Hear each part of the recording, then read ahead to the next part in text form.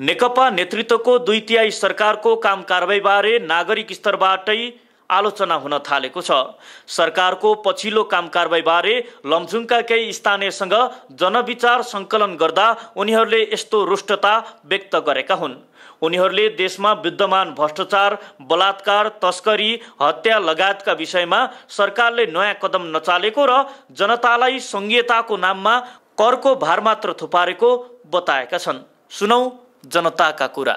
नेपालमा हाल अहिले आएर यो दुई तिहाईको नेकपाको सरकारले खासै केही गर्न सकेको छैन। खालि यस जमाना करको चाहिँ भार जनतालाई बढाएको छ महँगीको शुल्क बढी छ भ्रष्टाचार अति नै छ र अन्याय एउटा चाहिँ एउटा सामान्य नागरिकको विद्ध पनि एउटा चाहिँ हत्यारा पत्ता लगाउन नसक्ने चाहिँ अवस्था यो देशको भिक्राल अवस्था छ। यस्तो अवस्थामा यो दुई तिहाईको दम्बको सरकारले खासै केही गर्न सकिरहेको छैन।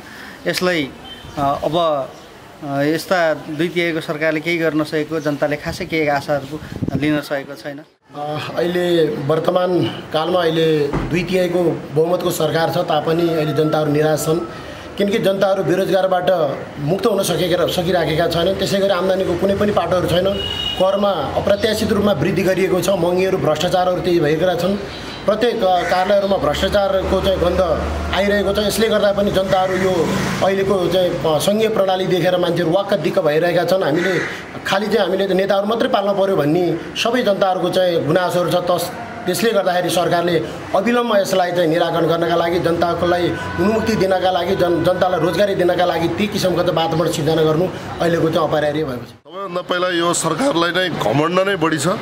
र घमण्डकै कारणले यो सरकार पूर्ण रूपमा असफल नै छ। घमण्ड के के कारणले भइरहेछ भने काण्डै काण्ड। सम्पूर्ण काण्ड निकालेको छ काण्डको कहिले पनि फैसला त्यसलाई समाधानतिर कहिले लगेन। यो सरकारको जति जनप्रतिनिधि छन् जनप्रतिनिधिले एउटा पनि नयाँ कामको सुरुवात गरेकै देखिएको अवस्था छैन।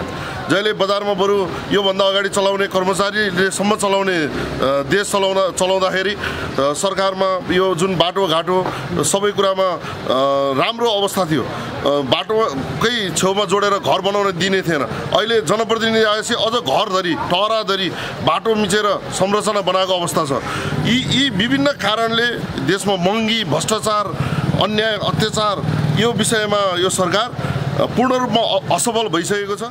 वर्तमान सरकारले अहिले जुन राज्यमा जुन करको दायराहरूमा जुन जुन रेल व्यवसाय छ त्यसमाथि रेल व्यवसायलाई एकदम करको दायरा थुपारेर जुन जुन व्यवसायलाई अप्ठ्यारो परिस्थिति पारिरहेको छ जसले कर तिरेको छ त्यसलाई सरकारले निचार्ने काम गरिरहेको छ यो प्रति चाहिँ सरकारले जनताप्रति जुन गर्नुपर्ने कामहरू जुन व्यवसायले गर्नुपर्ने कामहरू त्यो चाहिँ गरेको देखिँदैन। त्यस सरकार एकदम आफ्नो कार्यकर्ता पालन पोषण गर्नुभन्दा अरू व्यवसायहरू जनताप्रति कतै पनि उत्तरदायी नभएको देखिएको अवस्था छु।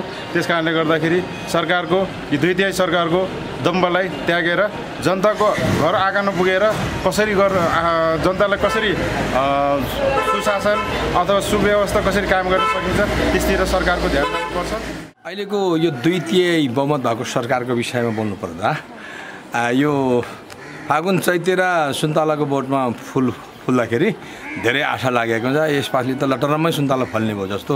त्यही हो के अरे अब पछि चाहिँ असिना र सखा पारिदियो एउटा एउटा दाना पनि सुन्तला फलिने जस्तो। यो द्वितीय सरकार नाम सुन्दाखेरि संसार चकित छ। संसारले धेरै आशा गरेछ नेपालबाट।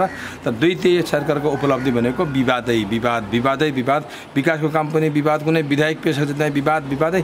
होइन हिमाल पहाड तराईसम्म जति विवादै विवाद विवाद बाहेक केही पनि छैन। यो द्वितीयको सरकारको भन्दा पनि लाजै मर्दो भइसक्यो। म त झन् दुई तिहाईकै सरकारकै अलिक नजिकै भएको भएर पनि अब म आफै पनि लाजे मर्दो अवस्था देखेको